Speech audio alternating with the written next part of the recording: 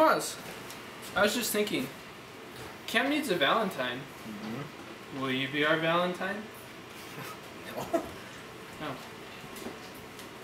What about you guys? Will you be our Valentine? If so, we have a treat for you.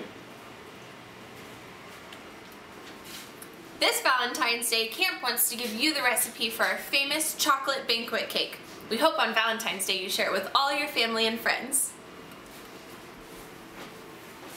So, though we can't share this cake with you right now, our hope is that this summer we can all share it together. So on behalf of the YSSC family, we just want to say, Happy Valentine's Day!